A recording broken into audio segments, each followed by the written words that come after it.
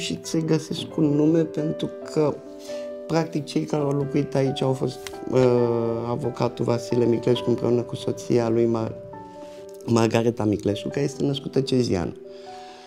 Mm, practic, eu sunt urmașul Alexandrinei Racoviță, căsătorită cu uh, Alexandru, principele Alexandru Racoviță. De aceea și pe fațada imobilului sunt cele patru blazoane Patru embleme, patru nume de răsunet în epocă și nu doar în epocă. Familii nobiliare românești care au dat oameni importanți. Cesienii, spre exemplu, cu rădăcini comune cu cele ale lui Iancu Gianu. Racoviță, din neamul domnitorului Racoviță. M-am gândit să reunesc într-un family concept cele patru familii. Povestea casei din cartierul armenesc de pe strada Popa Rusu începe în 1922. Atunci, vila cu fațadă din cărămidă roșiatică, ridicată cu doar un an înainte, trece din proprietatea unui capitan al vremii în posesia avocatului Vasile Miclescu și a soției lui, Margareta. Din motive care nu s-au păstrat scriptic, cuplul nu locuiește acolo, dar trei ani mai târziu, după ce soțul trece în neființă, doamna se mută în vilă. Din păcate, încercările abia începeau.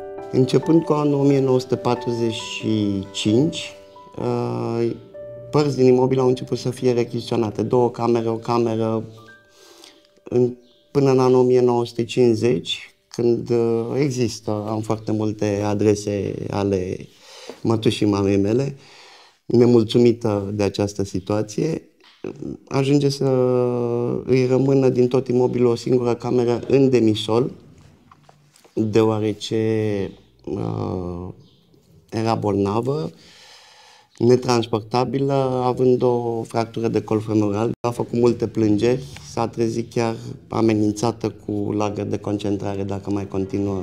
Cert este că în 1950 tot imobilul a fost naționalizat. Cât despre proprietară, a fost scoasă din uh, casă și lăsată pe stradă. De pe stradă a fost dusă la mănăstirea Căldărășani, unde a decedat. Soarta casei părea pecetluită. Fostul garaj a fost transformat în uh, locuință. Acolo era o familie. Aici era a doua familie. A treia familie în uh, camera din față și la etaj uh, erau două familii. A fost o stare de neîngrijire a imobilului. Situația legală a imobilului nu uh, împingea pe nimeni de la spate să intervină să-l întrețină. Chiriașul nu știa dacă va fi evacuat, uh, cel care a cumpărat nu știa ce se întâmplă și atunci a rămas într-o situație atipică. Așa a găsit-o Alexandru Ștefan Mihăilescu, urmașul și moștenitorul de drept. Dar starea casei părea cea mai mică problemă. A fost nevoie de timp și de efort pentru ca mai întâi vila să ajungă din nou în posesia familiei. Apoi a urmat restaurarea. S-a dorit demolarea lui, s-a dorit construirea unui imobil nou. Chiar și noi am primit uh, oferte dacă dorim să... Bineînțeles că nu. Dacă nu aveam sprijin financiar din partea mătușii mele, Lelia Murgescu, născută Florescu, nu știu dacă aș fi putut să fac ceva. Dar, la un stadiu acceptabil, am reușit să aduc motiv pentru care în momentul în care am uh, reușit să, re, să reintrăm în proprietatea bunului, am uh, considerat că o parte trebuie împărțită comuni, comunitatea și de aceea în demisolul acestui imobil, din când în când sunt uh, expoziții de pictură sau uh, sale de teatru.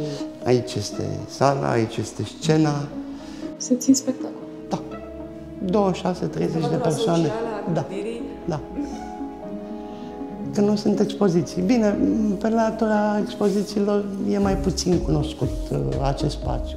A reușit să facă ceea ce era firesc să facă, spune el, căci pe lângă numele de rezonanță, urmașii unor asemenea familii moștenesc și o datorie morală, să păstreze și să transmită mai departe spiritul unor vremuri nobile, sub toate formele posibile. A fost primit cadou de către Dumitru Florescu de la Vasile Alexandri pentru melodia compusă pe versurile scrise de Vasile Alexandri și anume Stăluța. Este o lucrare făcută de Elsa Florescu, căsătorită Miclescu, uh, proprietarea imobilului Miclescu de pe Chiselev și acestea erau făcute pentru a fi vândute în târg, pe care le vindea bunica mea în perioada în care nu aveau cu ce să se întrețină. În casa din Popa Rusu, mărturiile vremurilor apuse sunt răsfirate pretutindeni, pe pereți, în vitrine, sub formă de cărți, partituri sau fotografii. Cât mai multe fotografii. Aici e familia Cezianu. Am găsit în bibliotecă niște cărți cu uh, semnăturile lor. De exemplu, acesta e Marie Cezianu din 1911. Acesta e un atlas geografic al lui Nicolae Cezianu. Da, exact. Este o tavă din uh, imobilul din Ceară Setia. Aici este um, familia Pantazi. Ce ați găsit aici? Ah, impropriu spus. Mm, energie. E foarte important. Și, practic, un fotoliu pe care am reușit să-l recondiționez cât de cât. Fotoliu și... Și o sobă, jos, una la etaj, a rezistat. A rezistat spre bucuria mea. Porțiunile albe sunt porțiuni noi de stucatură făcute în prezent. Cele colorate, cele pictate, au apărut în momentul în care au curățat uh, stucatura și am păstrat așa. Am păstrat așa pentru momentul în care voi reuși să am financiar posibilitatea să le refac complet. Nu a fost un drum ușor și nici unicul. Trei case a revendicat domnul Mihailescu și lupta nu e încheiată, dar merită și ar lua-o de la capăt oricând. E o datorie de onoare.